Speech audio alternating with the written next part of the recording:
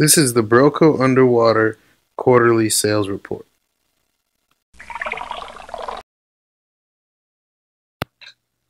Good morning, everyone. Are you guys ready to go over what Underwater's done so far this year?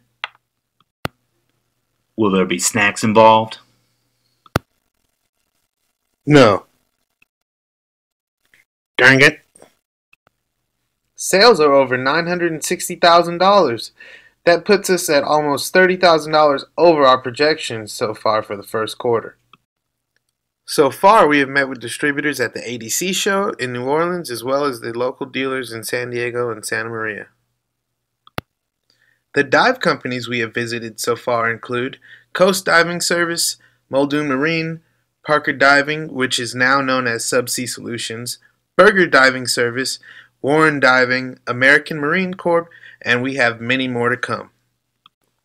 With the help of everyone, so far we've sold over 3,700 boxes of 3818 underwater rods. We've also sold 1,300 boxes of 38 36 inch underwater rods, over 640 tubes of soft touch, and over 1,200 tubes of easy touch. Good job, guys! This brings us to our torch and welding stinger sales. We have sold 378 BR22s, a great year for BR22s. However, we have only sold 58 BR22 pluses. We have sold 53 BR21s and 77 BR20s, which is right on par with last year.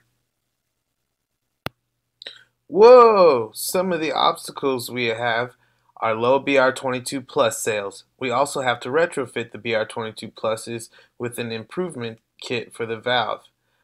Lastly, we are faced with low oil prices, which means work in the Gulf is kind of down. Some of the opportunities we have coming up is another $129,000 sale to Dive Techno. We have several international distributor visits set up to expand and promote sales, and the best news of all is dive season has just started. Yay! So before the year is over, we plan to have a new distributor agreement in place with all of our underwater dealers.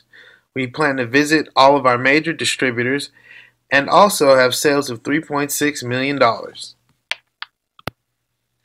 Well, that's just about it. I'm glad to see you guys found some snacks. Snacks? Where? Aww. So before we go back out into the world, remember to have a beginner's mindset be truthful, and always show gratitude.